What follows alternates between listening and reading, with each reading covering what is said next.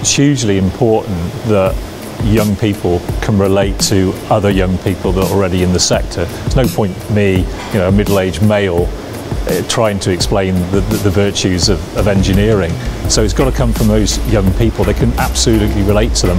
Plus, of course, they can tell them their own journey, and that journey is a really recent journey. So maybe within the last five years, how they've come from college, they've got, gone on to an apprenticeship, uh, degree level apprenticeship, uh, an engineering apprenticeship at sort of 16 or, or 18, or through the graduate route as well. So that's that's really kind of important to actually get that sort of assimilation of, of, data across to young people. So absolutely peer-to-peer -peer is, is vital.